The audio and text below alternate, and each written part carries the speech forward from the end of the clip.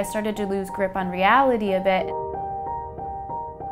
I started to feel, question whether the abuse ever really happened, and I started to question, had I made this up, or did I dream it?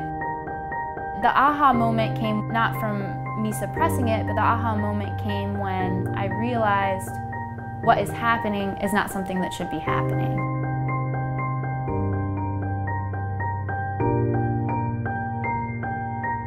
My name is Kyle Stephens. I have a degree in engineering, I'm an athlete, and I'm a sexual abuse survivor that helped put Larry Nassar behind bars. Perhaps you have figured it out by now, but little girls don't stay little forever. They grow into strong women that return to destroy your world. So Larry was friends with my mom and my father. To me, he was not a big, powerful doctor, but he was always a little goofy, a little strange, um, a little off in his own corner. He was always trying to hang out with the kids. I was six years old when he first sexually abused me. This one was before I was abused, and um, things could have been so different for that little girl. I told my parents when I was in sixth grade, and they didn't believe me, and they chose to believe Larry Nassar. For that whole year, my parents had been trying to get me to admit that I was lying, and that was a pretty brutal year.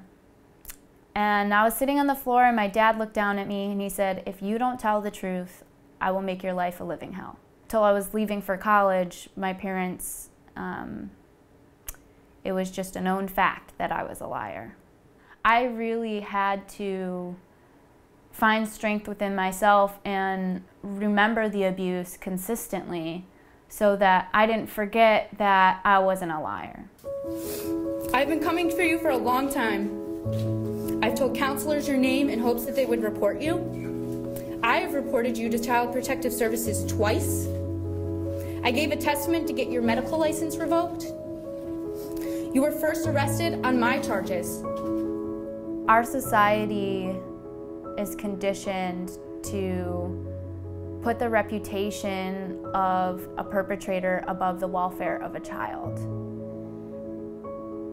And it baffles me that we are so afraid that someone may lose their job, that people may think about this person differently, or that maybe they'll lose their marriage.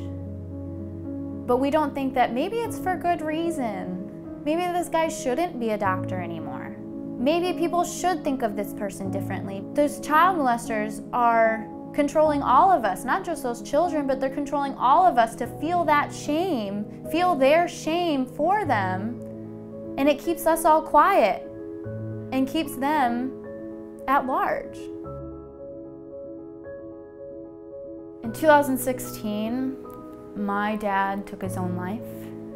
My father was experiencing extreme pain that made him unable to work.